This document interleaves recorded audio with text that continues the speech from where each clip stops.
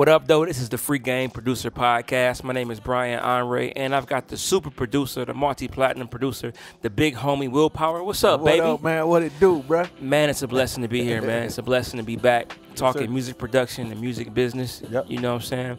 First thing though I want to say, man, is um our prayers, man, and thoughts go out to everybody in um Houston, Texas. Yeah, it's crazy, That's man. dealing with uh Hurricane Harvey. Yeah, I think I read something where it was like I think 14 trillion gallons of water or something like that. that's crazy, man. Touchdown, man, and, and people are um, you know, kind of stuck out there.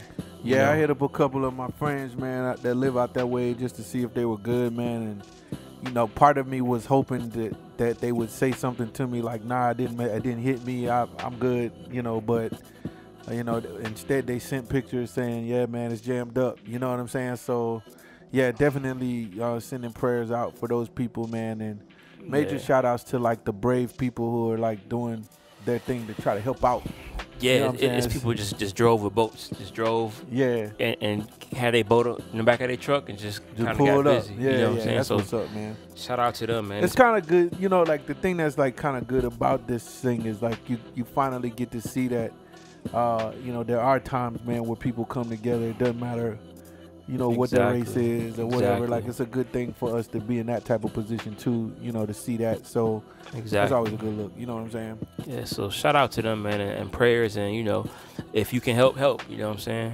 You know, we know music uh, definitely helps. You know what I'm saying? In general, you know what I'm saying? Kind of, kind of heal different things going on, man, and Right. it's a lot to talk about with music. You know what I'm saying? Some new music came out this week. Yeah. It seems like you know this has been a great year for albums. You know what I'm saying? Great Yeah. year for albums, and Right. Right. not saying this weekend was really great, but but it's up to you to decide whether you I think mean, it's it great or wasn't not. that bad. I mean, it wasn't that But- awesome to me, but it was. my point is a lot of stuff came out, man. Um, ASAP Mob Yeah. came out with their Cozy Tapes Volume Two, Right. and you know those guys been putting out a lot of music lately. I mean, uh, you know ASAP Twelvyy he had his album come out a couple weeks ago. Right. Um, ASAP Ferg had his quote unquote mixtape album Right. come out last weekend, and then this that's like three projects within like a, a 30 day time span. Right, you know right, what I'm saying? So that came out, and you've got producers on there like um, uh, let's see, um, a lot of folks on here. I'm trying to look at the production credits, man. But you got a lot of folks. You got uh, who was on here, man? Uh, RZA did that joint on here. RZA, Hit Boy. Which is crazy, man, Yeah. because you know, like one of the things that the ASAP mob was always screaming was that they're the best group ever out of New York, like Yeah. even over the Wu Tang. So that's Well, kind of dope. Well, I think they kind of maybe the new ver- the new version. Yeah, Because they remind me of Wu Tang because I keep hearing members come out of nowhere. Like 12 I didn't even know who 12 was. You Right, know what I'm right, saying? right. Like how Wu Tang, you had members like Cappadonna or, or, you know, Masta Killa. Different people come out come up out of nowhere who was part of the crew. So Right, it's a pretty good project, man. Um, you know, they got a lot of good um, features on there. I think Big Sean's on a couple of records, man. Schoolboy Q is on a, on the record. Uh, Gucci Mane is on the record as well, man. Playboi Right. Carti is on like three or four records. Right. Jaden Smith is back again. You know, Jaden Smith was on uh, Tyler's album. He had a little cameo on his album, so I don't know if if uh, Will Smith's son is, is getting into the rap game, but but he's on there, man. right. I think Frank Ocean is on the track as well. So, you know, Cozy Tapes Volume Two, man. Um, you know, so that that came out. Um, Lucy, um, sorry, Lucy, Lil Uzi Vert dropped his album. Yeah. Um, I think it was Love Is Rage Two. Yeah, Um, man. and I a think- couple of dope, couple of the homies on that project, man. I, I saw that Illmind was on there. He did one, uh, like uh, something Miami. record. Okay. That was pretty, pretty dope on the project. Yeah, I got- Pre- I got- Pretty Miami. Yeah. Yeah, yeah. Probably not Pretty Mommy. I'm sorry. Pretty, mommy. I'm sorry, man. I said Miami. God, I'm tripping. Pretty Yeah. Mommy. Pharrell was on there. WondaGurl is on there. Don Cannon is on there Yeah, as yeah, yeah. well. That's dope, man. I mean, it, it was cool, man. I listened to it, man. Um, I'm, I'm still, it's still my, you know, it's still out there for me. I'm trying to figure it out.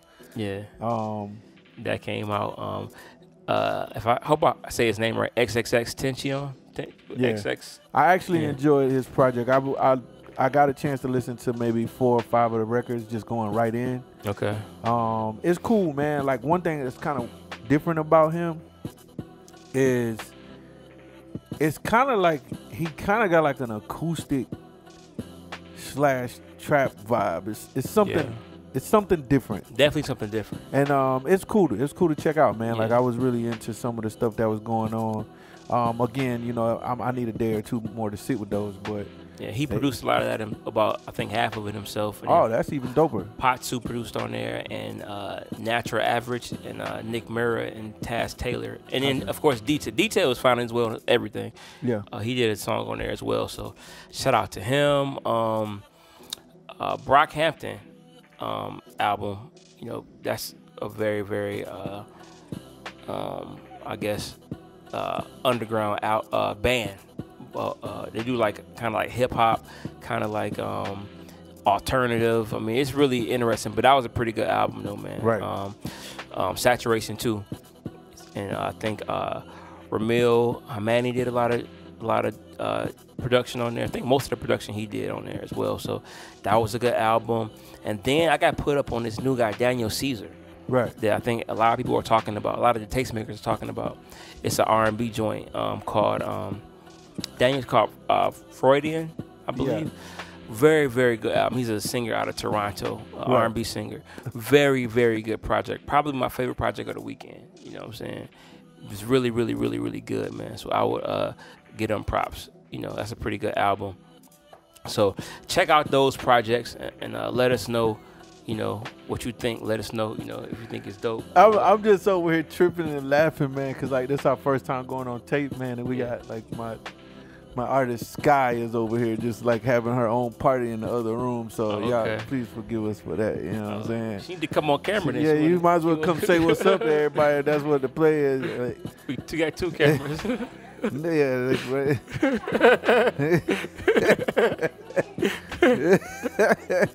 nice. So yeah, you never know what's gonna happen Never here at the know, Free man. Game Yeah, Producer it Podcast, man. You know Well, what I'm saying? Yeah, man. I mean, it's good stuff going on, man. You know, as we were saying though, you know, um, one of the things we're trying to do here at the Free Game Podcast, man, is just kind of step it up. You know what I'm saying? We've Mhm. been talking for months about, uh, you know, just kind of getting our content game up, man, and, and so we decided to take this and go into a visual place. Um, you know, uh, right now this is all test stuff. We're gonna see how it goes, man. But uh, I'm, I'm super excited about what we got in front of us, man. You know, it's, it's a Most little, definitely. you know, you nervous, man? You nervous to be on camera right now, bro? You know what I'm saying? Hell no, I Say- nervous to be on camera. You kidding me? nervous to be on camera. Come on, man. No, Get with it. no, man. But yeah. Maybe if it was live, I might be a little nervous if it was live. you didn't know we was live, man? Whatever. We man. live right now, man. We going to the whole world. We live, Ray J voice. But Yeah, no. run it. Um, so yeah, uh, good music coming out.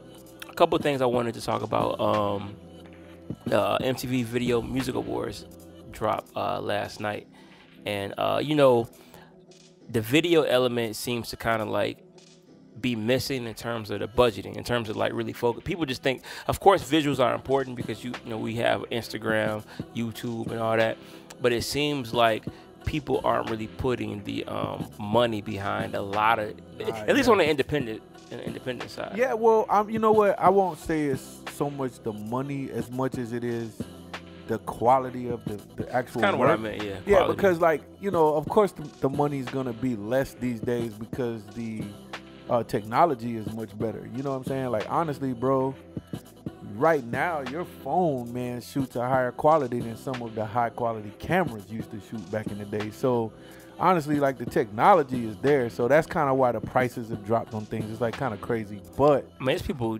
somebody that do your video for three hundred dollars. You know what I'm saying? Yeah, I mean, know. you know, to me that's just the And to you me you I, pay for, you I know, don't know. Yeah, I, I don't I don't you know how I am about people like uh gouging and and ungouging, I guess the word would be in these type of systems. But I made that word up by the way. But um Gouging is a word. I think you, you used it in a unique I used way. it in the, yeah. I used it in the in the in the opposite uh, text that I should have. However, I just kind of feel like you know, um, I think what you were trying to get at maybe is uh, you know, that just people aren't as um, creative and they're not being as uh, careful about what they're producing and what they're coming up with. Like, you know what I'm saying? Just because you have a camera doesn't mean you can shoot it or you should shoot it. You know, sometimes you have to be mindful of the content that you're putting together. You know, I mean, we feel the same way about even the music though, man. Like with production, like we're big, we're big on people being, uh, you know, present in what it is they're trying to approach. You know, Yeah. like you can't just do shit because it's available to do. You know what I'm saying? Like I'm the guy that's always like, nah, I don't just want somebody who can do something. I want somebody who's actually a professional at it.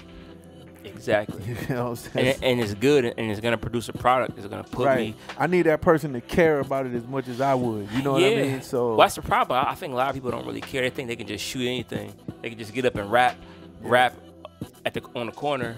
And sometimes, you know, if done properly, those kind of raw videos will be dope. But most of the time, it's just Well, jokers yeah, just just- standing around, man, sitting on the porch, man. And, Yeah. you- and it's like, dog, come on, man. You know what I'm saying? No creativity. No, they paid the homie three hundred dollars. right. You know what I'm saying? Yeah, and, I- and I- now they want to blow up. Right. And sometimes, you know, I think maybe, maybe The a- problem a, a is Chief the- Keef messed the game up. Exactly. And the problem that. is somebody went out and got it done for three hundred dollars and and it went down. Yeah, man, it- it- it's all relative. You might be out there at home with nothing, and you just try and make it trying. Absolutely. God bless you. You know what I'm saying? But I think that sometimes if you really want to put the thought into it, and, and, and, and if you're able to kind of like, So what? So what? Like, what sparked this in you? Like, what? What did you see at the video awards that made you uh, interested in? Talking like about the it. yeah, like the quality of the work. Was it? Because I mean, I, I heard you say earlier in just our own conversation that um, like Kendrick won like something four or five awards, he, he won like a lot of awards. Right, and I think my video. comment on that was it was a dope video for today, but like in the '90s, that video would have been like Another- an average another- video, not Right. even like a super dope video. Because everyone, everyone at the labels are really putting like you're talking about half a million, one million dollar budgets for a video, Mm-hmm. and I'm not sure what this video budget is, but it's it's well over six figures. Well, You think? ha- has to be. Maybe we I can don't look know, that man. up. I mean, I, I don't know. I, Thi- I this know video with, is definitely a six figure video. Nah, but I know that with like graphics and all of the kind of stuff. Probably multiple six figure videos. I don't know I wonder if we could find that out. I got a whole bunch of film people in the building. Let's put a wager man. on like, that. Y'all think that video that he shot was uh, uh high priced, or y'all feel like it? It, it was. It, y'all think it was a six figure video though? The uh, Kendrick Lamar humble. Ken, the humble video, techno crank. So see, you talking about some shit I don't know about. So. Okay, all right. Well, so you know, I don't know what I'm talking about in that field. So Me either. I'm just saying like I got, I got. I'm, just done. thinking like an executive. It's got to be six figures for that video. Nah, well, I mean, obviously, like, and then the guy who no matter what, we are clear though that they spent some money on their video as opposed to a lot of what we see. You, you know what I'm saying? Like, Yeah, 'cause sometimes some a lot of my favorite records of the past f- four or five years, you know, you hope and pray to do a video for it. Then you see the video and you're like, really? Like that's what y'all wanted to come Mm-hmm. Yeah, up yeah, with yeah, for this for this song, you know? So, um, am I just think that's, that's I just think it's creative, man. Because like I said, technology is that- allowing. that's a good point. Because you could do dope shit, man, with less expensive stuff if you have the right creative people doing it. Like it's just kind of like, you know what I'm saying? Mhm. Like I've seen some of the most plain images be so on point. You know what I'm saying? I- yeah, I guess it, it kind of depends on the song and the movie. You know, a lot of the different factors. I'm gonna tell you, man. One of my favorite videos of all time, man, was uh, it's an old video, Alanis Morissette. Okay. I can't remember the song, man, but in this video, they were and she was in a car, and she was playing four different roles in the car. Okay. So like the driver was one person, and then her passenger was another person, and the two back people in the back seat were all different people, and she played all four parts in the video. Nice, nice. But it was a ba- it wasn't a very hard to shoot video. It wasn't like super crazy, but like you can tell creatively, it was just an amazing piece. But anyway, man, that's a whole nother show. We'll get into that some other day. Yeah, I'm trying to get my computer to work right. It's kind of freezing, but I had the whole list of when I know Kendrick Lamar won. I think best rap video, mm-hmm. Um, maybe one of the uh, cinematography videos. I tell you what did win though, Kanye West uh, video with Teyana Taylor dancing. That won That best shit should have won. best choreography. Ah, that's that's a, that video was dope to me, man. yeah, So much that like the song wasn't even jamming to me, but the video was crazy. did it make you like the song more? Don't don't like her. She's beat, she was beating the well, that, beating like, the ground. and I think that that was necessary. I think that that's what honestly. That's I what think, videos are for. That's what videos are for. Like, yeah, like in a sense, a video is supposed to make you understand what they want you to feel about the song. Yeah. And like Kanye is a is a genius at that because almost all of his videos kind of tell you how you're supposed to react to it. Absolutely. You know what I'm saying? Because if you didn't have the videos, some of his records, come on, man, you wouldn't get it. You would be like, what? Because so many people were not with the Yeezus album. They thought it was just so left. But it wasn't until we started seeing some visuals and we were like, oh shit. Yeah, Even that, even though that one video, where he was kind of like, yeah, that was a good one. Come on, man. Well, you like Yeezus though. I didn't. I love that's- Yeezus, that's- by the that's way. Y'all, don't- y'all don't understand. That's the that's the it that's is, the debate. But no, um, you know, I'm trying to get the winners, man, on here. Just, computer acting up. But well, uh, I, let's not even worry about that. Let's talk about this fight, man. oh, oh, okay, you, uh, you know what I'm saying? let's talk about that then. Let's get to the fight, man, and then get to this beat break because we got a lot of stuff to talk we about do, on this. we do, um, we do. this pay the producer. We do. Yeah, the fight uh, you know, it's not really music related, even though let's see, um I mean, but you can't be a part of American culture yeah. right now at well he all. did come out he, he came out to, he came it's out like with his- right now, with his- three like two things are like you have to talk about in American culture. One is our president, and the We other talked one, about and, that. and we've talked about that, and the other one is the McGregor and Yeah. Mayweather fight. well, it is what I saw the fight. I put up the 100 bucks to to watch it. Yeah, Um, I thought it was a, a good fight, Com- especially when you compare it to Floyd's, let's say five last five or six fights. Where I think against Maidana, a couple times it was a little competitive, but other than that, Floyd is a master of not getting hit. He dances around. Yeah, yeah, yeah. Doesn't really do a lot of He knows- offense. yeah, he knows how to fight. He's a great But defensive fighter. I think he had to because I think he lost the first three or four rounds of this fight. So he kind of, you know, yeah, had to be aggressive to win the, the later rounds. Right. And McGregor got tired. You could tell he was winded. Yeah. You I mean, it's whatever. I, I I think the result is what everybody thought it would be. I did. I will say this. The one thing that I thought was really, really dope about the whole thing was the sportsmanlike conduct Yeah, in the end. You Yeah. know, I thought that they were both very classy. absolutely. And even though I walked away knowing in my heart that this was just a money grab and It it, was, was, it was a play for the bread, it was. I still felt like I got my money's worth for that. That's what I felt. Yeah. You, you know what I'm saying? It's kind of like, you know, it's like anything else in entertainment. Like you spend your money knowing that the whole point was Yeah. to get you to spend the money.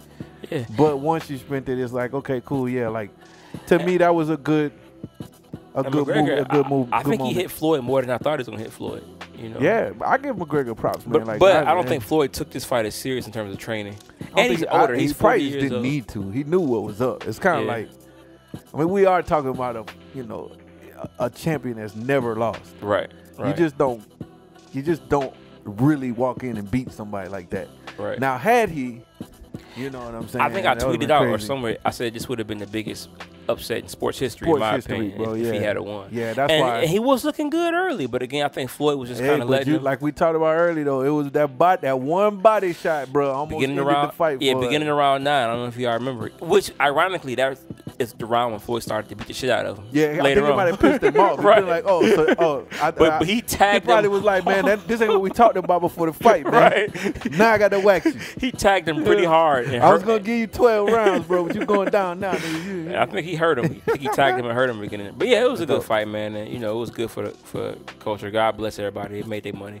I think Conor's making a, re- more money he ever made on on the fight. So Nah, that's dope. Well, so, So, yeah. listen, man, what we got going on this week? Um, it's the it's the second episode of our six week pay the producer Mhm. series. Yep, yep. Um, we're gonna get into talking this week about um, uh, payments in terms of uh, royalties, mechanical royalties, uh, uh, record royalties, and uh, performance royalties. yeah, and we got you know stick around because we got a very special guest on the show, man. We got Charles Hester speaking with us, uh, aka Chalo. hmm Chalo is the producer that wrote the beat for Milli. Yeah, he's credited for- as a he's writer. Credited as a writer, but oh my God, when y'all hear this story, y'all gonna be like, whoa. yeah. Um, so stick around, man. We're gonna talk about that, and uh, you know what I'm saying. We're gonna take a little beat break right quick. Uh, welcome to the show, yes, sir. Free Game Producer Podcast. Be back in a minute. Yeah.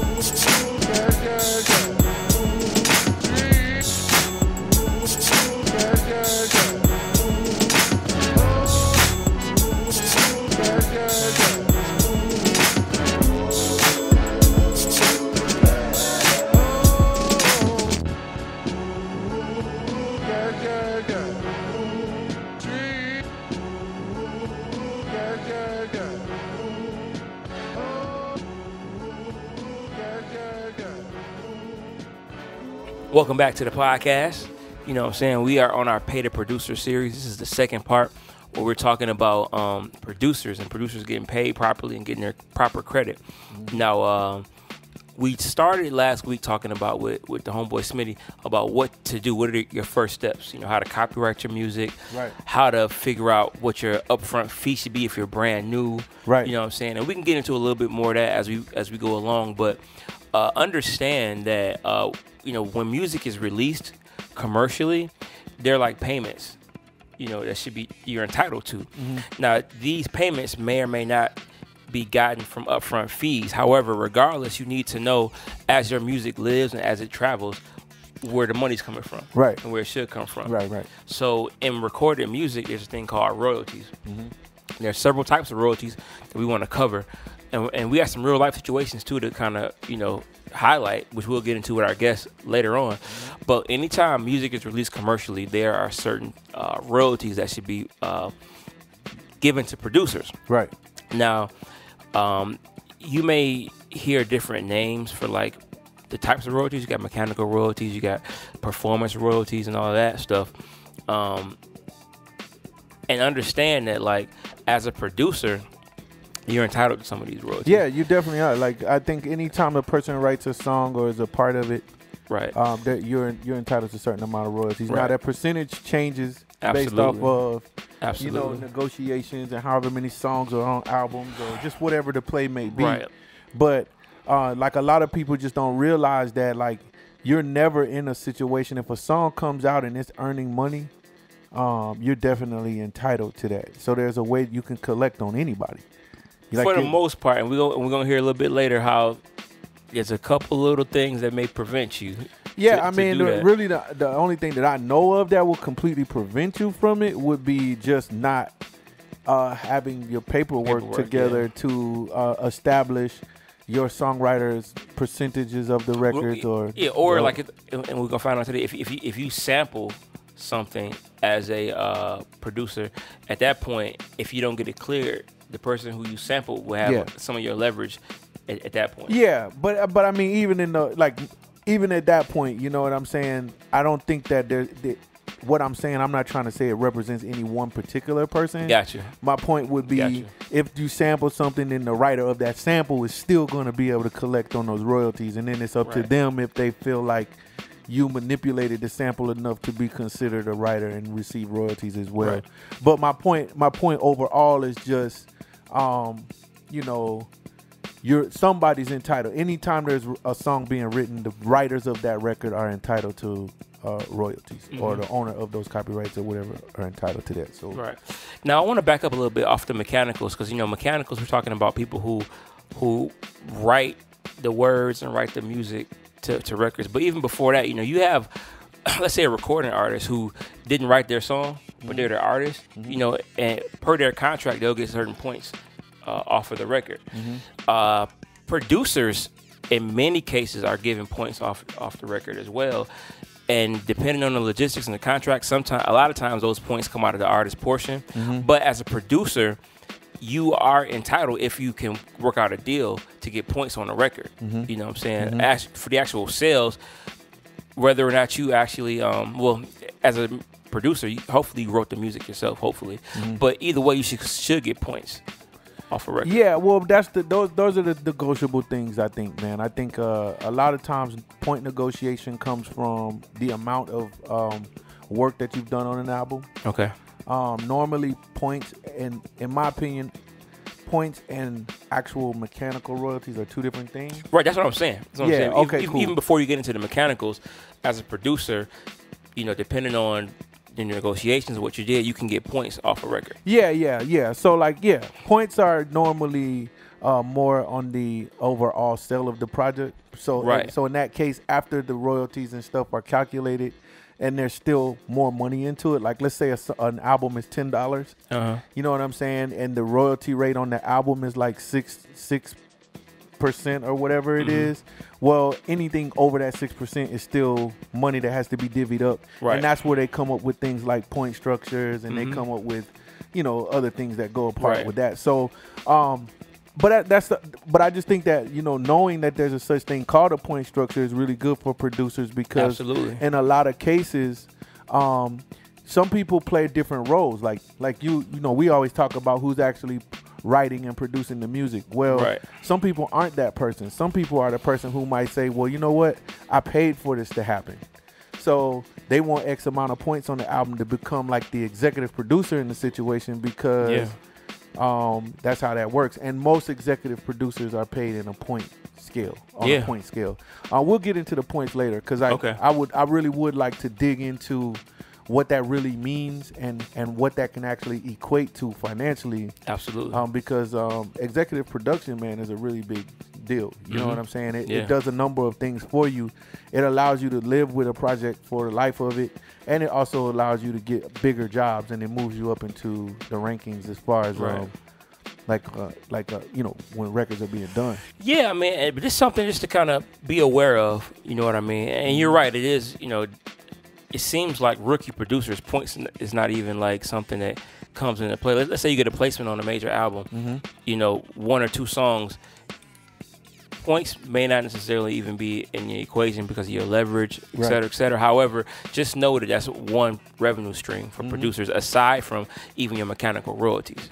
You know what I mean? Mhm. Um, points because as we're gonna see with our guest today, you know what I'm saying? Like our guest today, I don't want to steal the thunder, but of, of the interview, but you know, because of certain uh, copyrights and samples, the mechanicals wasn't there. But I'm thinking like, well, you, you helped produce the song, so maybe if the producer got points and you co-produced it, maybe you should have got some of those points, something somewhere. You know what I'm saying? Mhm. So just kind of be aware of that. But also, um, that is true. You know, those are that's one stream. But then you get got mechanical royalties, and we can kind of get into that now. Yeah, well, mechanical royalties, man, are basically the royalties that come from um, the sale of actual uh, physical CDs. Um, you know, they basically come off the, of the actual sale of the product. Yeah, and and the thinking is that you're paying the copyright holder to record and put out their music. Mm-hmm. You're paying for that. So Yeah. the person who wrote it, the record label is paying for the right to put out your to re- to record Right. and put out your um copyright. Right, and so also you got to understand that it's not just um, you know it's just not CDs and vinyl anymore. It's also streaming. hmm Uh, it's on demand. You know, so that con- that's for Spotify. That's all of those types of things. Yeah. And so, you know, um, basically anything that that people are presenting your music to the public with Mhm. in in some type of tangible form or nowadays digital form, um, that's where you get paid your mechanical royalties. Right. And so um, nowadays it's really interesting. It's, it's it's a crazy conversation to have because you know, like we said, we talked about earlier that you know you would get uh you would get a producer rate for uh, um for an agreed rate on a certain amount of records on the album back Mhm. in the day. And now, man, you know everything is playlist bound. So honestly, it's almost like putting out 12 singles. Yeah. You know, there's hardly any hard copies anywhere. There's hardly anything like that going on. So Yeah. I think the game is going to change in that sense. I think that Mhm. Those are some of the things that they're trying to talk to Congress about and figuring out exactly how to pay producers properly in those types of environments. You know, um, but then there's um And to re- to reiterate, as far as the the uh, mechanical royalties, you know, um, as a producer, um, you are responsible for the music, and it, and a song is half music, half lyrics. So if you compose, we're gonna find out later about the word composition. You know, Mm. key word to use. If you compose the music, you know, you should be responsible for fifty percent of those um, mechanical royalties. So right. you know, and also kind of before we before we jump ahead, mechanical royalties in a lot of cases are collected either by yourself from the label or if I'm not wrong, a publisher collects Yeah, yeah, your yeah. mechanical royalties for you. Well, yeah. Um. Well, with record labels, um, there's companies like Harry Fox Agency and people like that. They actually go out and collect for the labels and things like that. Now, um, performance royalties is another thing, though. Right. That's, where the something else. Yeah. So yeah. So I wanted to make sure I was trying to exhaust this before we jumped on. oh to- yeah, to- that's to- cool. Well, oh yeah. So performance royalties, yeah, but yeah. So yeah, you're So- right so- about so that though. Having a publisher, because I guess the question often becomes, okay, who pays these royalties, and how do I go about getting finding out if I'm a producer and I put put a song out or I had got a placement, how do I follow up with that to make sure my money is is, is Yeah, properly? I think it would be to hire an agency for something like that. I, I mean, I just know Harry Fox agency is like the largest, or Yeah. at one point was the only one. I'm I'm not really sure, It- but they were the only one, but it's kind of it's a couple of I forget the names. A couple smaller ones that are, that are kind of competing more. now. I'm sure there are many of them at this point, but yeah, that's the way it would work. Is the label would actually be responsible for paying the royalties. Is in the contracts. What they basically do is agree to a certain amount of mechanical royalties to be paid out. hmm and um where it gets really confusing let me tell you when it gets weird it's, it's a lot of times it gets weird when records go over a certain amount of songs because what they don't realize is mechanical royalties only have to be paid out for x amount of records so let's say the number's 12 so if it's 13 songs on there that 13 song is not you're not guaranteed to get a ro- uh, mechanical royalty for that 13 song And I can imagine it's so tricky if you only got one or two placements on there, and maybe if your song falls somewhere on the playlist where it's outside of that. Right. Anytime I, al- I already don't expect a very high return on an album that has anything more than 12 to 15 songs on it.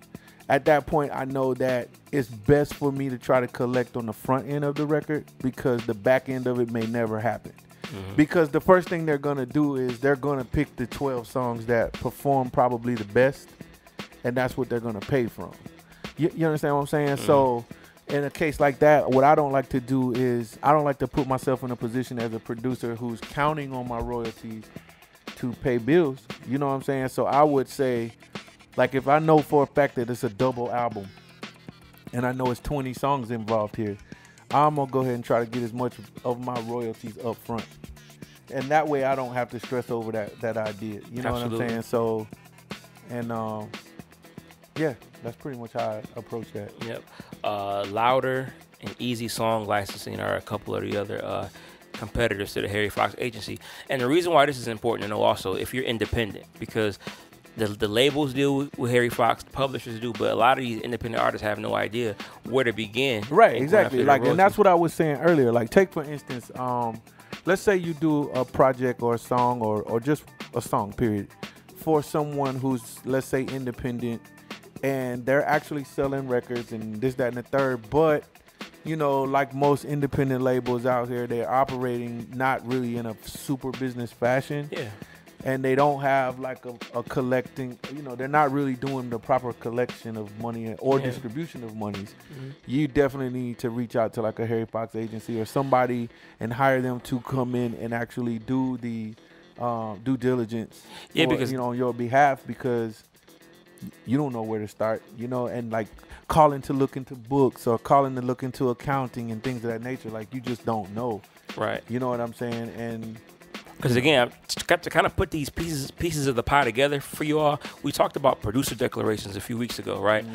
Those things specify that the label owns the master, or the master recording. So the the money's going to go to the label, whoever owns the master recording. Right. It's your job to make sure that they pay out pay, pay out Right. per the, the agreements Yeah, that were written out. So, you know, that's what, why we see a lot of lawsuits. When a record gets big, Mm-hmm. somebody's suing somebody because maybe they got paid up front, they little fee or in advance. Right. But based on the numbers they some some attorney figured out you're owed a couple hundred thousand dollars Right. or, or whatever it is. Right, so right. and depending on your contract, you know, a lot of times, man, these royalties don't get paid out until recoupment of the entire project is taking place. yeah, So sometimes you're sitting around waiting on a royalty, and they still trying to, and you can't get it because the videos haven't been paid for, or something that kind of didn't have anything to do with the actual making of the song.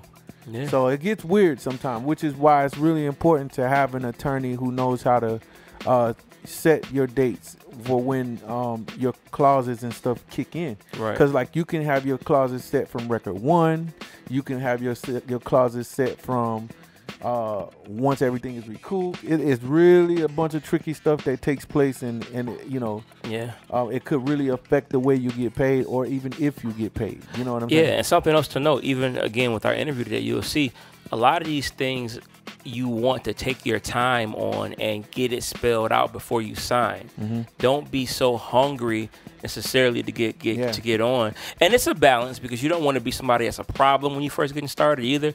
But you know, you want to make sure a lot of this stuff is I mean, spelled out. and, and you know what? I'm 100 percent for like trying to play the game. I, I'm with that. But man, Mm-hmm. uh, you know, today we speak to someone who admits openly, man, that those mistakes ruined his life, ruined his his life musically.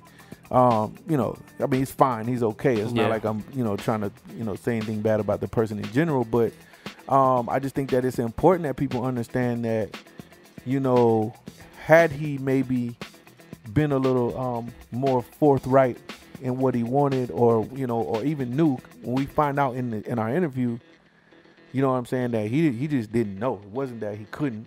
right. So in those types of situations, though, man, you know, like we're talking about a completely life changing incident. Yeah, absolutely. It's just incredible, and, and Mhm. this next story is super awesome in telling us that. yeah. Um, what were we going to next? The performance royalties? Or? Yeah, I guess so. So I'm, you know, again, any type of uh, questions y'all have, hit us up. You know, what I'm saying on our page. But that that's pretty much mechanical royalties in a nutshell.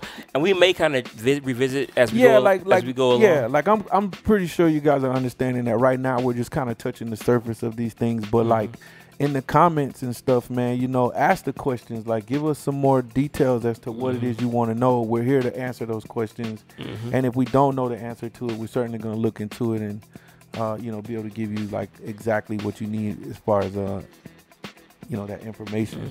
Mhm. Um, but we can go right into performance, Performance royalties. royalties. Yeah. Basically, man, anywhere that your music is playing, like if it's on the radio, it's in a restaurant, it's on a bar, you're in the elevator, Spotify, all of those types of things, man, those are called like pu- public performance type of situations. So, Mhm. uh, which is crazy because um, it says that streaming services are also on the mechanical side. So how is Spotify kind of on the performance side as well? So very interesting. Maybe because Spotify has like a radio section to it as well. Um, but we can get into that because I really don't know. So I don't want to get to saying things that I'm not really clear about. and I think our homeboy uh, Greg from SESAC touched on this a little bit. Yeah. But even I mean, then, you know, though, because all of them, because like Pandora is a radio station. It's not really a streaming station. It is, but it's also a radio station. So I think when they double as, it's it's really the, the lines are blurred. They- the lines are blurred. Yeah. Yeah, because the, the, you have stations on all the streaming networks. Right, I exactly. believe, where they kind of just play whatever they want based on what you what you like. So At any rate, I think the bottom line of this is, you know what I'm saying. That's another way for you to get paid, and the way that the people that collect those are performance rights organizations, which that Mhm. would be like your BMIs and your ASCAPs and your SESACs and all of those types of things, man. You know what I'm saying? Uh, mhm. Sound exchange and things like that. Those types of people are taking care of the digital realm of collecting royalties. So what about Uh, um concerts? concerts are mechanicals. No, I'm tripping. Concerts are yeah. I'm sorry. I'm sorry. Yeah, they're yeah. performance royalties.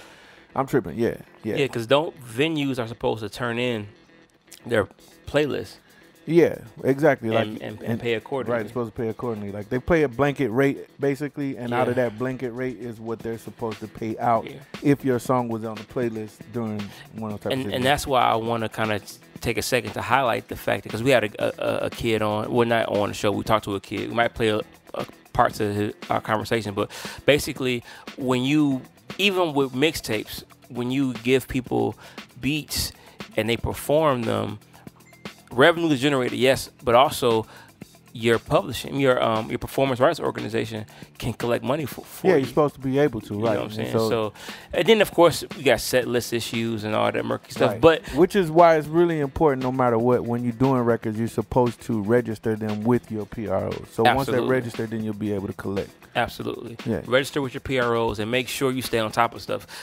No matter what the scenario is, you know, last week we talked about where to begin once you finish producing the record.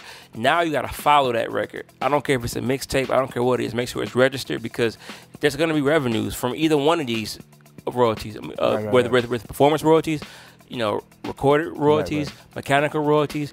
there's money that, that you're owed, so you have to kind of be on top of uh, Right. what happens to your music. So yeah, anytime it's performed, and we didn't even get into licensing yet. Yeah. You know what I'm saying? licensing, we might cover that next week, but yeah, your song lives, so you got to know where it's going and keep track of what revenue is generated. Right. Don't be so hungry to get in the game that you sign over your rights, or just you skip over stuff. Right. Because even with our producer today on the on the, on the show um, that we interview, he just kind of skipped over some stuff Right. Skipped know, a lot of stuff actually. that, so- that that came back to bite him in the end. So that's what I would say. right. You know what I'm saying? Be on top of that. Well, let's For get into real. that, man. Let's jump into that. Jump man. to that. Okay. Uh, another that- beat break? Yep. Another let's do beat? another beat break, man. Cool. We come back. We got uh Chalo, uh Chuck Hester, Yeah. aka Chalo, the producer Yes, of sir. the record Millie. Chi-Town in the house. Man. Yeah. Yeah. Holla. Peace.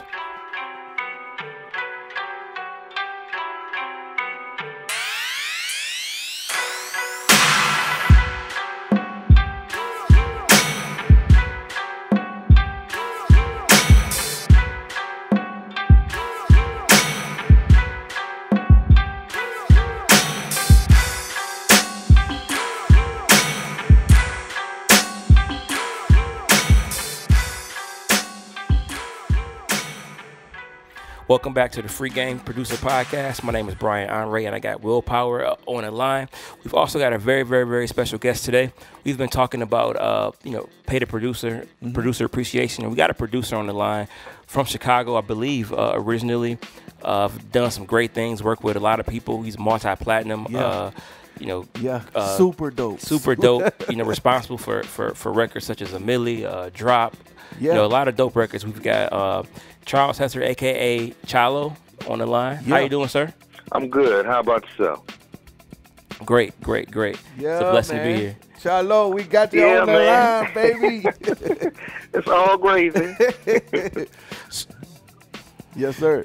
So you're from Chicago yeah, originally? Did I, yeah, I I'm from that right? Chicago, and I'm from the South Side, 79th Street. Uh, I don't know. A lot of people talk about the whole Chance the Rapper Right. thing. He's from 79th as well, but yeah, Mm-hmm. South Side, no suburb. Nice. Nice. Yeah, it's one of my favorite cities, Chicago. I'm there a lot, probably every month, and um, we've had other producers from Chicago on the line, and I always ask about, you know, certain cities have certain sounds to them to me, and certain times you can kind of just hear a certain city's influence. So, uh, do you what what is it about the Chicago sound um, that's uh, unique from your perspective. Yeah, perspective? so I I come from a, a so I, I come from house music. So um, my sister used to go to um this club called the Warehouse when I was a kid, you know, basically a child, and she used to bring this um, this music home.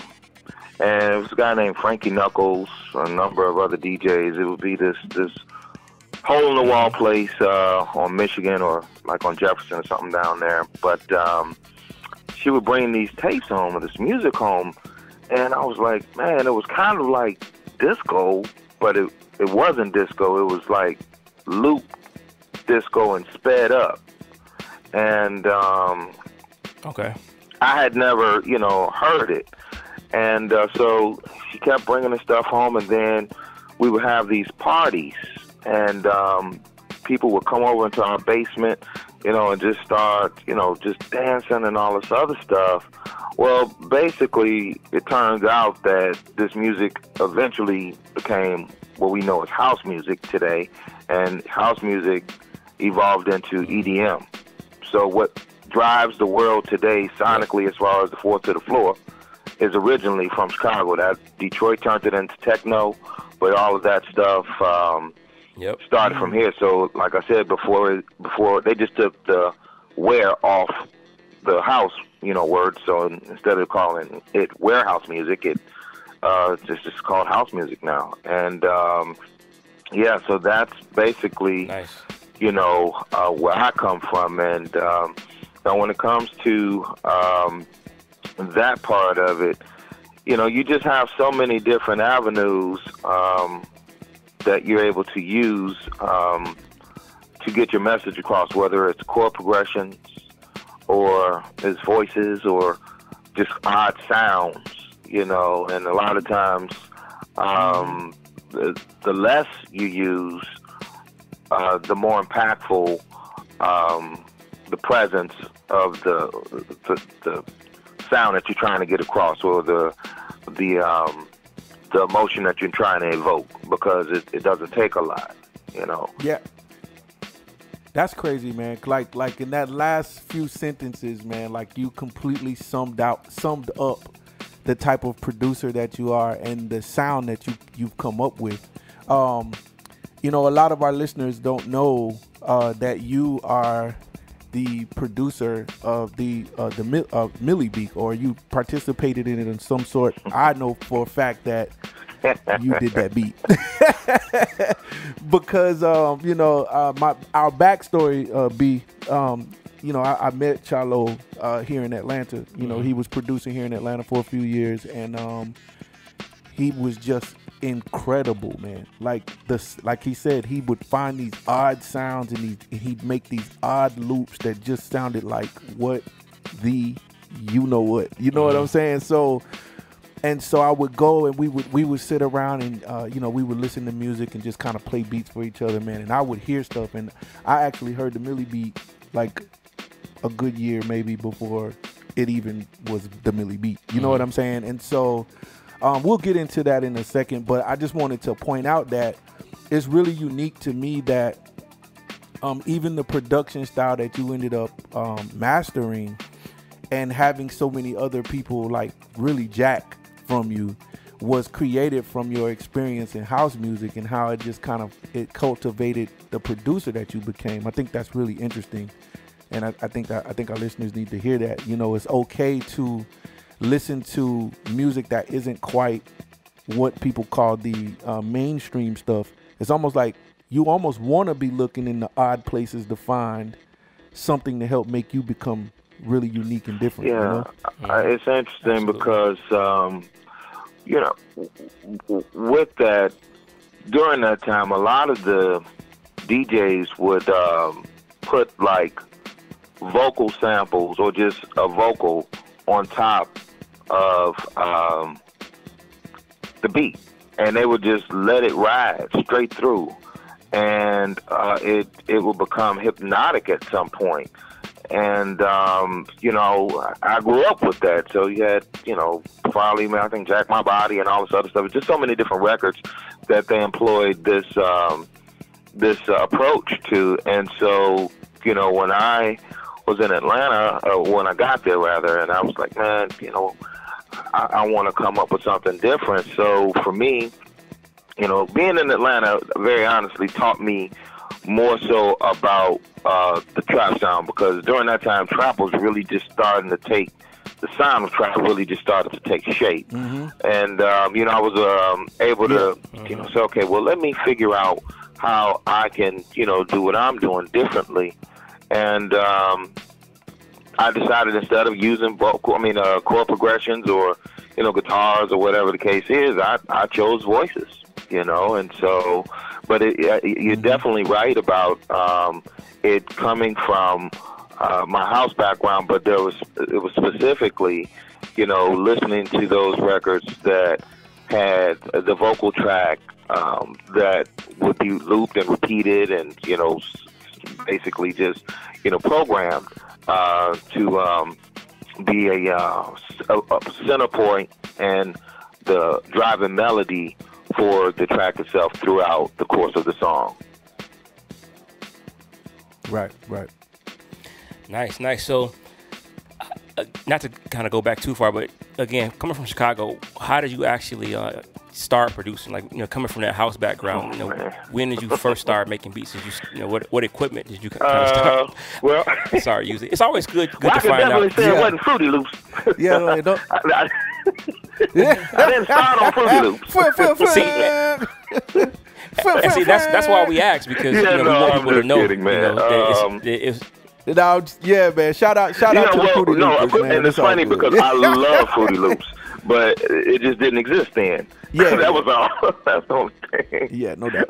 but um, you know, uh, and I use FL Studio now. So, but um, so so um, Nice. basically, what happened when I was about um, thirteen, um, there really weren't uh, a whole lot of home studios or anything like that. But you know, it was a a group that I was in, and basically I was the producer. It was three of us, and um, we wanted to go to the studio, and um, we saved up our money. I was working for my father at the time, and uh, I think we saved up thirty-five dollars a piece or whatever we saved up. And uh, we went in, and Mm. you know, we created our first. Uh, at that time, I guess you could call it a demo. You know, we created our first record, and we made three of them or two of them, and uh, so we we moved forward with that. But then, uh, as I continued to uh, mature, um, I ended up having a mentor uh, by the name of Dwayne Grant. And so my father had a store on 59th and State Street. And Dwayne lived like on 56 or something in Peoria or Prairie, something like that. But I could walk there. Now, if anybody knows anything about Chicago, they know about 59th and State Street in that whole area.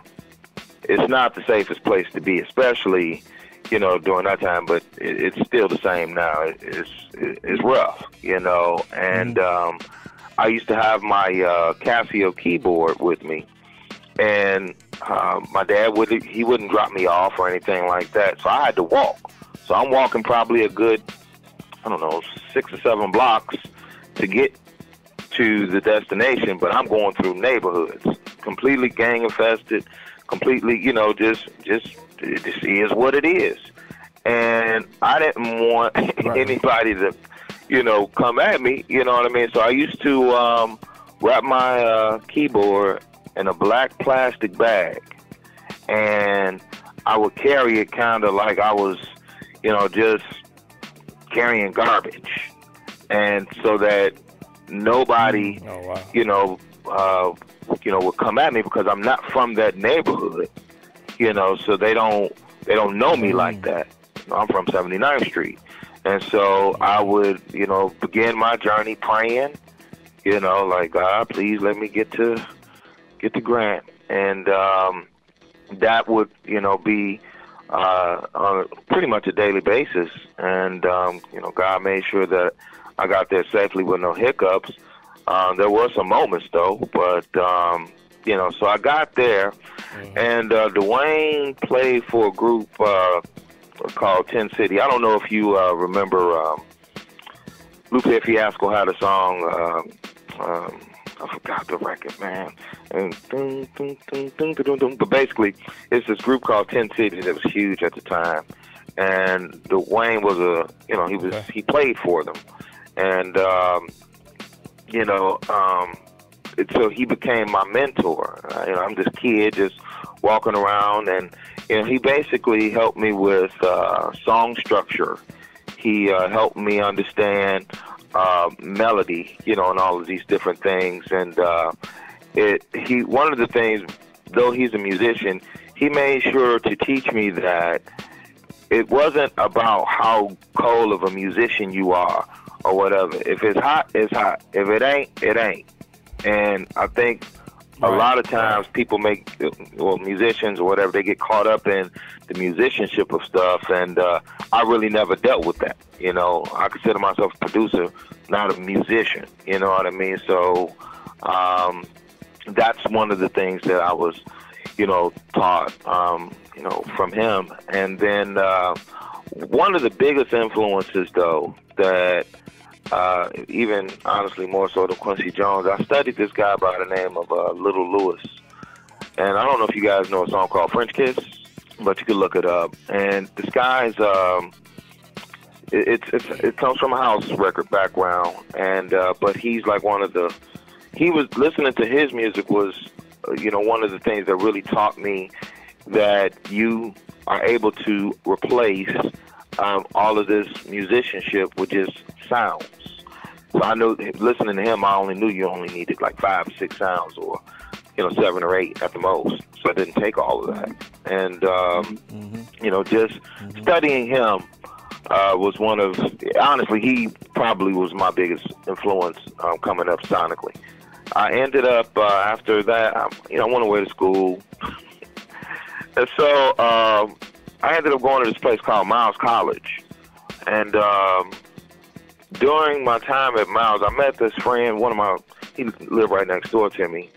This guy by the name of William Phillips, and uh, he's just this dynamic singer. You know what I mean? And you know, so I ended up. One of my girlfriends convinced me to join the choir, and so found out Will was in the choir. Okay, cool. Well, fine. I'm I'm in there, and I remember this was my first time being like introduced to um, like gospel music. Um, I think prior to me going to Miles, uh, Nice. I had gone to church maybe five or six times, even though I went to a Catholic school. I remember sitting in the middle of all of these people, and um, we were in a classroom setting, and then the director just said, "Okay, one, two, three, boom." Then I just heard all of these harmonies. Everybody around me started singing, and it was just like, "What? The, what? What's going on?" And I remember my the hairs on my arm The moment right there. started raising up. So I started learning during that time what real singing was. You know what I mean? Uh, somebody to really sing from their soul. Somebody from Bessemer, Alabama that really doesn't have, you know, too much money or anything like that. You know, just belting. You know what I mean? Uh, just from something that I had never experienced coming from Chicago. Now we're we're a gospel town, but I, I really wasn't in that. But now where I'm somewhere in this one street pole with a light on it, you know, for the next mile or so, you know, and uh, you know, with this conviction that I was listening to, and so we would go back to my house and uh, you know continue. So uh, fast forward years, it just turns out that my friend William ended up, um, you know, being this guy. I don't know. A lot of people may not know him. but it's William Murphy. He's a gospel star right now, and um, hmm but Yep. you know, it was just listening to um, the vocal conviction, and when I was in that process, and that also started to help me when it came to my production because artists just couldn't come in and say, "Oh, I got a, I got a song, or I can sing something," and it, I could completely and immediately identify if they weren't um, sincere or they weren't convicted by what was coming out of their mouth, whether they wrote it or not. You know, a lot of people are a bit more convicted because they lived it, but Patti LaBelle really didn't write too many of her own songs, but she lived them in the moment. So that, you know, being in that environment helped me, you know, understand, um, you know, that part of it. Um, No, that's that's a, that's a good extensive extensive breakdown on Yeah. if, if people are l- l- reading between the lines, they're getting some game. Yeah, out of that, yeah, yeah. I think sure. it's important, man. That like you know, um, when when when you get into the music production game, it's like so many things are going to inspire you. So many moments are going to be the reason why you, um, you know, those aha moments, I guess you would call them, where it's like, Yeah. hey, this is really what makes me feel good. You know Yep. what I'm saying? This Or is what I want to do. this is what I want to do. So yeah, man. Nah, we appreciate that. Um, yeah, let's let's go, man. So so here's the thing. We we we're we're into this series called Pay the Producer, and um, like real quick, just to give you like a, a a rundown of what it is, man. Basically, there's been a lot of stories coming out where, of course, producers are not being uh, credited properly. They're also not being paid properly. Some not even being paid at all. Um, there's the whole thing nowadays where like you know mixtapes and um un uh you know um I guess unsolicited music I guess that would be the word for it you know where music is free you've got these new platforms streaming and all this kind of different stuff so we decided to do a six week series on pay the producer man and um, I felt like you know you're with you being an extraordinary producer but also experiencing some crazy stuff in that form we'd like to jump into that with you and, and let's talk a little bit about it. Um, Brian Brian has some stuff, so let's let's jump into that, man. Yeah, I mean, we're looking at different like strings, you know, ways producers get paid, and you know, we have producer fees, and you've got, uh, you know, if you actually uh, write, you know, do the music, you, you're credited for for um, being a, a writer on the song with the music. So you have uh, mechanical royalties and publishing with that. And I was just looking into the Milli story, and I uh, see um, uh, you as credited, you know, as a writer on there, and and you're not credited as a producer. But when I do the research, you co-produced the record at least according to what Yeah. I what I can see. So you know, and what people don't understand is that even uh, you know, being a writer of the music, you know, you're responsible for uh, getting royalty payments for mechanical royalty. So it can kind of get a little murky. So I just wanted to know a little bit about what your actual experience Yeah. was, not you know Okay. what's on what's So on the yeah. internet. uh, at the end of the day, you know this this business is uh, full of sharks, man. It's it's uh, it's a lot of people that you know are out to get you, you know, and you really you really have to protect yourself from sharks. But the most important thing that you have to do, and the first thing that you person you have to protect yourself from, is yourself. Why do I say that? Mm, that's a good one. You know, the Bible says that uh, my people, many people perish from lack of knowledge, you know, and um, hmm I was one of those people. Um, I made a lot of mistakes in this business, man, and you know, with the Milli, it was pretty much my biggest one. And um, so, with that being said, um, the whole Milli, this is pretty much how it all happened. Uh, I made a beat uh, some years ago, and um, you know, I, I kept it, and I befriended, befriended a producer, and um, we became cool, and you know, all this other stuff. He was like, "Well, man, send me some stuff," you know. Um, so I would send him. We would go back and forth, sending beats and stuff like that. But I can say, man, during that time period, I was I was careless about um, how I did things. I, I, you know, my wife would tell me, Chucky, you know, sample. I mean, uh, check your your samples, or check, you know, this, or check all this other stuff. I'd be out, man. Please, I wasn't trying to hear, you know, what she was trying to say. I'm trying to make it. You know what I mean? Whatever. You know, it just it. it I didn't take care of my business. I, I, I was not on top of uh, things the way that I should have been, and so um, basically, um, when I met the the, the other person, um, we you know sending stuff to get, to each other, and so I sent him what we know now uh, as a Milli, and uh, what it was was um, I took um, it was a sample that basically I manipulated and made it what it is now. And so he, you know, he and I kept, you know, going back and forth. So he had me come by his house or something like that. And I listened to it and I'm like, okay, well, it's, you know, really, really no difference, but okay, cool. Again, not on top of my business and, you know, I would always sample my voice as well. You know, I may, you know, go woody woody woo, what about what? And then I sample it and you know slow it down or whatever the case is. And and by me not being on top of that, man, we uh, once we got together, and uh, he talked to me and he was like, man, are there any samples or whatever on this?" stuff? I'm like, man, no. you know, uh, because again, I didn't take care of my business. I didn't care. Uh, well, it's not that I didn't care. I was careless you know, and I would get samples from everywhere along with, you know, sampling my voice. And so back, basically, you know, when he asked me, uh, were there any samples on it, I'm like, no, that's, that's, that's me. That's my voice, you know? So, you know, big mistake, huge mistake, because it, it, it would basically come back to haunt me not taking care of my business. And so that's why I said earlier, um, you have to protect yourself from yourself. And in this situation, it ended up being that I was my worst enemy. And so time went on, and um, we kind of lost contact.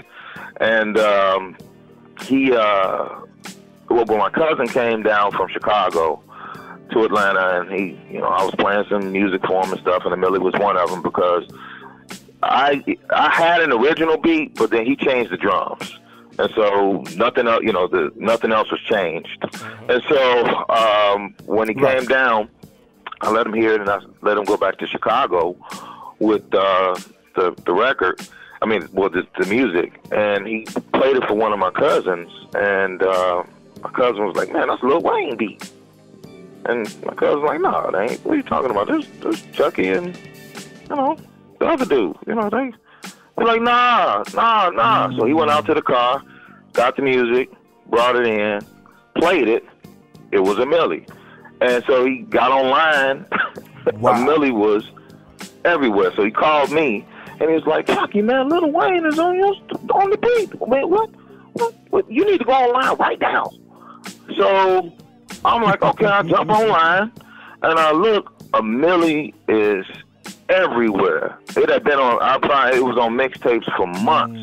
And it was all online produced by this other producer, you know, and he, you know, his tag is all on it. And I'm like, wait a minute, what the, what just happened? So I called my attorney. Just so happened we had the same attorney. I met her through somebody else. And um, when I got down, when when I got on the phone with her, she was like, "Okay, well, come on in, come on in, come on in. I need you to come in." So I was kind of rushed in, and uh, I went in, and she was like, "Yeah, this is what's going on," and such, such, such, such. It was, you know, uh, so um, I'm I'm uh, representing him. I'm not representing you. And I'm like, Whoa. huh? She was like, yeah. So she was like my first real enter- got more money. entertainment lawyer, and I tr- you know, I, I I trusted her. Yeah. Um, but when that happened, I should have gotten other legal representation immediately, but I didn't. Uh, another huge mistake, um, and that's what I keep saying. These are these are the things that take place, and so um, when you know I chose to go with her, I mean I signed a document saying that she wasn't representing me; she was representing him, and all that. And um, so then, it, during our conversation, uh, she was like, "Okay, well, this is all getting done and all that. So, uh, are there are there any samples on there? Uh, is there anything?" And again, I hadn't taken care of my business. I was careless. You know, I was like, "No, no, it, it, wasn't." So, um, that happened, and during this time, though, you know, I was calling, you know, people letting them know. And well, let me say this: the other part, it was supposed to say on the insert because I went in and I signed a co-production agreement. We did a co-production agreement for the record, and um, it was supposed to say additional elements produced by Chalo, and they made sure that that wasn't on there because that was sort of was agreed upon. Um, and it just said additional element Chalo.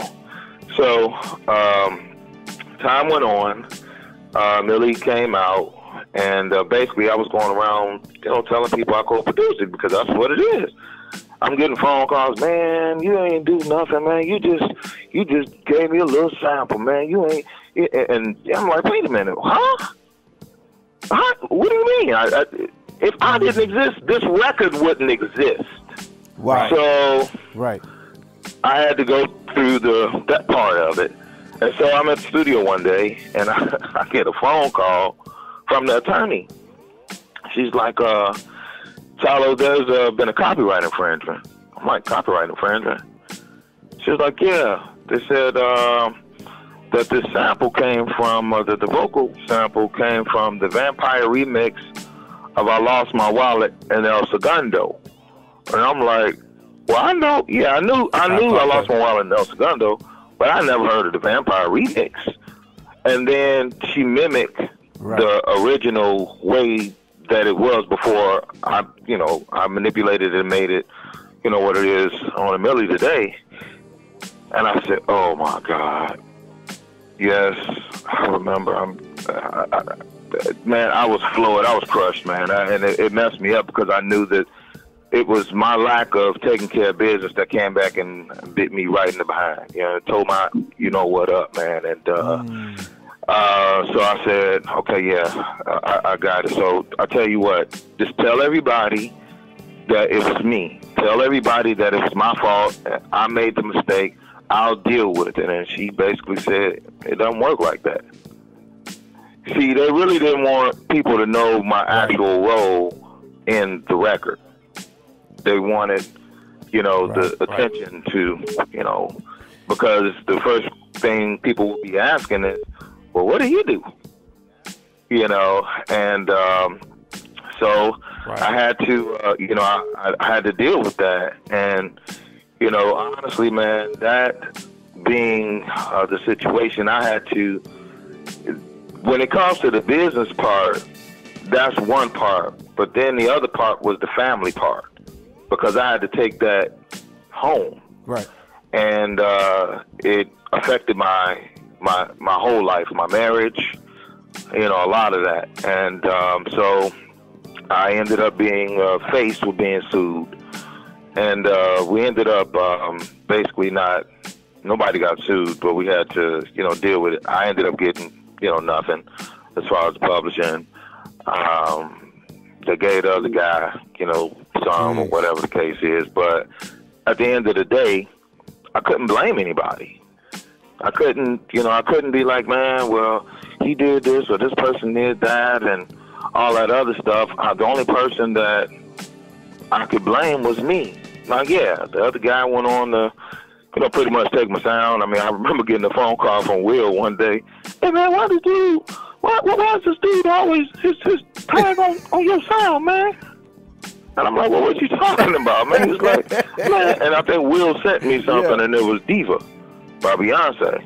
He was, I was like, oh Yeah. my goodness. Right. Right after that, you know, Yeah. and then it just kept happening, and it kept happening, and it kept happening, you know. Um, so then you had six or seven come out, and all this other stuff, produced by the guy, you know, and um, it was a painful thing.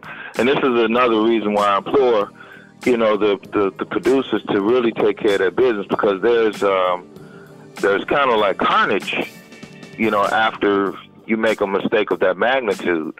I mean, to be honest with you, man, uh, during that time period, man, Lil Wayne uh, was at the top of his game. Um, he was a, he won a Grammy that following you know year, and I remember because because I had pretty much kind of been blackballed and so many things, was, whatever was being said about me and all this other stuff. Um, I had to get money, man, and I didn't. And people, the phone calls kind of they they stopped, you know, and they all went to him. And uh, dude, during that time, my mother had gotten sick, and I was working at McDonald's. I was flipping burgers when one when Wayne won the Grammy. Now my name was there. I couldn't go around telling people who I was at this place, and then I couldn't let my peers know what I had to do to get some money.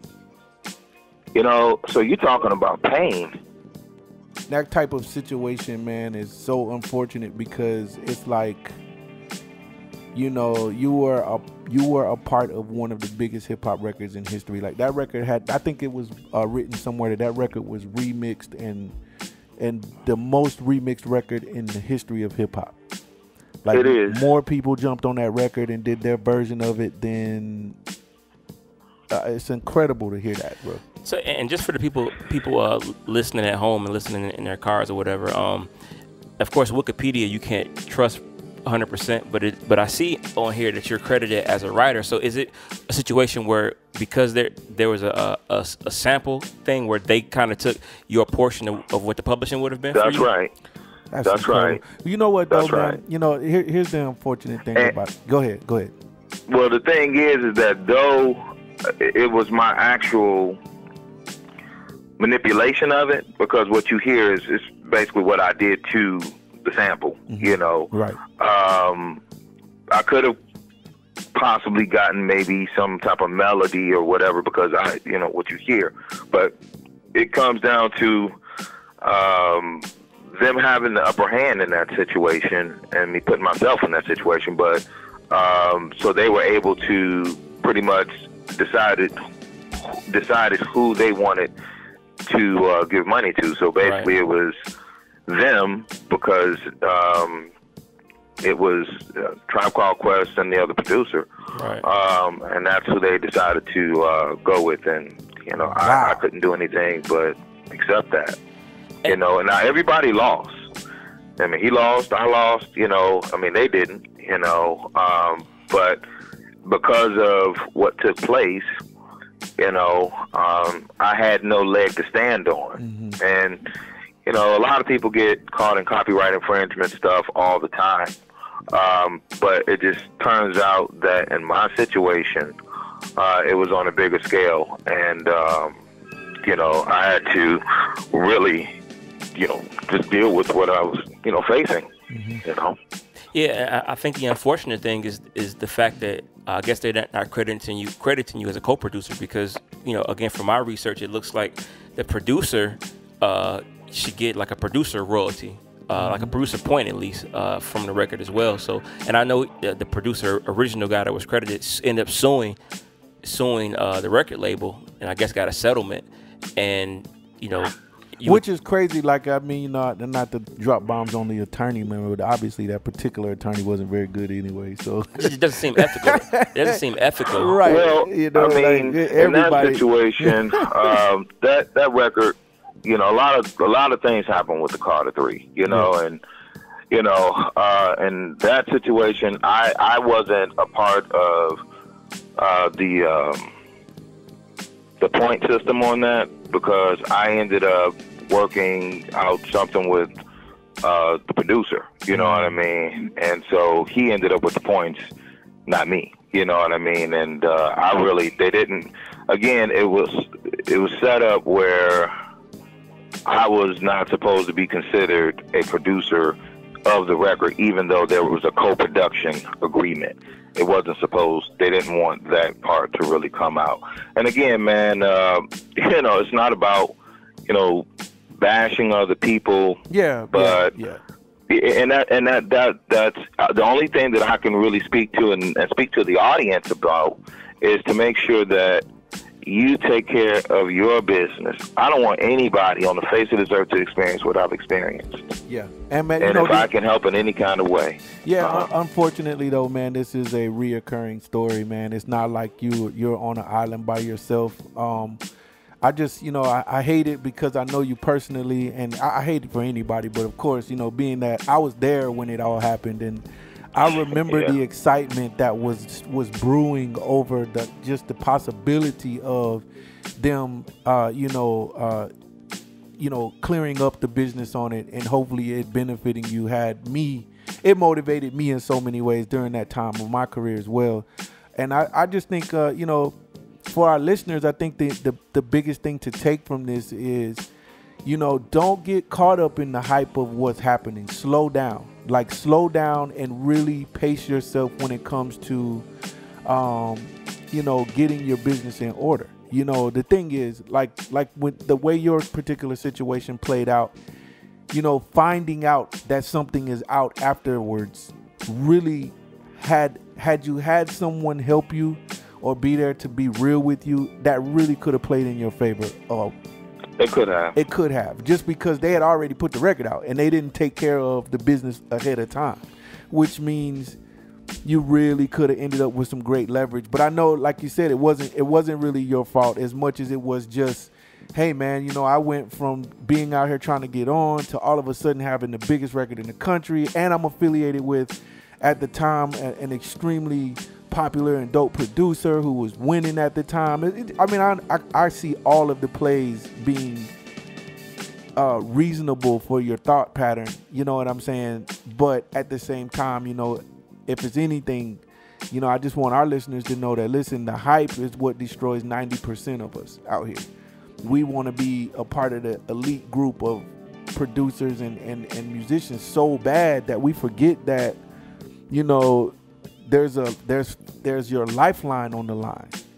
You know, and it, it could really destroy just about everything, man. And I think that you you um you're you, you have a great testimony when it comes to what could happen. I mean, I pray for you all the time. I mean, you know, this show is you know, this show is for people like yourself, myself, and all of our listeners who make music. You know, I just don't want those unfortunate circumstances for anybody. Like this show isn't designed to bash anybody.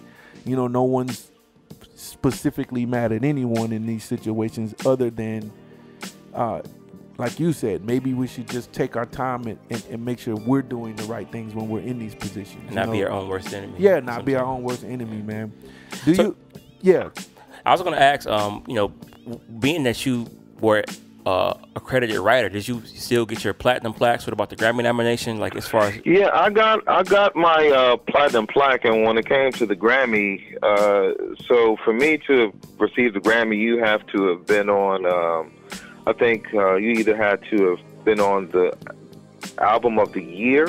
Yeah, it's either Yeah. album of the year, or you would have had to have produced over fifty-one percent of a record that you know received a Grammy. Meaning, you know, if If Right. it was a particular genre, you know, and that that album won. And in this situation, it was the single. Mm-hmm. Gotcha. So he won a Grammy for his performance I. Yeah. on a Milli because nothing had been, you know, heard of. Right, right, right. Yeah, so, so heard- basic, heard so like that. Bangladesh, or I'm sorry, well, Bangladesh didn't did he didn't receive a Grammy on that song either, did he? No, Okay, yeah, okay, yeah. I th- I think there's always, you know, the Grammy winning Grammys always has like a really weird twist to it. You know what I'm saying? Um, Well, I'll say this, not that I know of. I know when I contacted the people, they told me, you know, that these were the rules. So, Yeah, yeah, I mean, if he had a I way mean, around I, the I think you may be right now. I mean, you know, it really doesn't matter to to me. I just think I was just wondering, you know, because I think that's good information for our listeners as well. That they they all have to understand there there are rules to winning Grammys as well, and like categories don't necessarily mean everyone's going to get a Grammy Yeah. as much as No. it, you know. Like you said, it would only count like if it's album of the year and a whole bunch of other different things that could go down.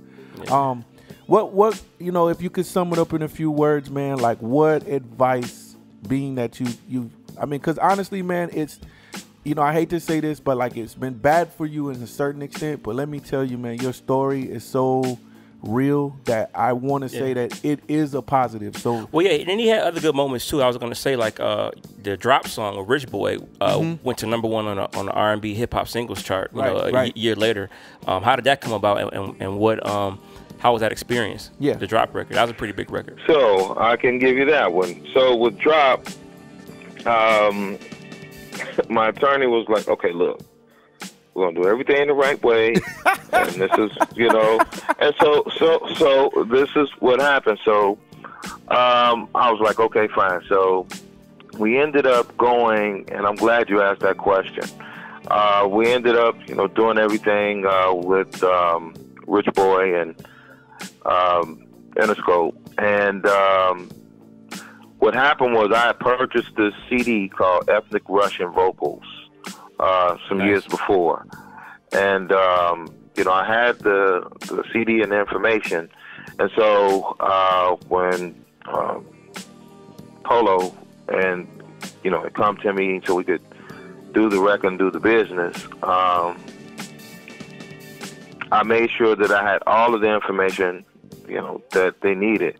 Well, it turned out that the company, from what we understood, we they, we couldn't find the uh, the person who owned, you know, the company. Even though I had bought the CD and all this other stuff, um, they we, we couldn't find them, so we had to clear it or whatever the case is. And so uh, Universal was like, okay, well, we'll find them. And I'm like, okay, you know, well, uh, you know, this, here you go. Here goes every, all of the information and all this other stuff. So I ended up getting my front end money. Yeah, that's why I'm glad. That's why I said I'm glad you asked the question. so I ended up getting my front end money, and um, then I ended up my attorney. I, I don't know why this happened, but we ended up doing a uh, a memo deal with Rich Boy. And uh, during that time, there were a lot of things going on in his personal life. And uh, so, what should have happened, though, right then, is that that deal, the memo deal, shouldn't have been done with the artist. The memo deal should have been done with the production company or the label directly. Right. But you know, we the attorneys like, look, you know, let's just get something in writing so that we can, you know, finish the process. I'm like, okay, cool. And it's my new attorney, all that other stuff. And uh, so we got the deal. They sent me the check, and um, and I took the files and uh, did the paperwork. Fine. So um, they said that they would, you know, locate the person or they'll they'll find them. Now they weren't supposed to release drop or sell drop in any way unless you know you get the permission from the the person who you got to find. You know, you got to deal with the, the, the business. You Right, know, right, the, right. the person who owns the sample. You know, and just to clear it up, just to make sure, even though I bought it, still make sure that there are no issues. Well, it turns out they start playing it, you know, and all this other stuff. Cool. My uh, my um, attorney at that time just said, "Look, just don't don't collect anything from it now or whatever. Just just let it play out until you know they find the person." Well, come to find out, man, years later, um, that you know the company had been uh, receiving royalties and selling it the whole time, Mm. and um, they cut me out Wow. again. Now, even though my That's my crazy. tag is on there, you know, I will get full credit for producing drop. I mean, it's my beat. You know, I created the, the beat. You know what I mean? But um, you know, they were able to skate around the business of it. And uh, I, what happened was, there's a lady by the name of Ebony Bones out of the UK that started blowing up on the record, and um, she sample drop.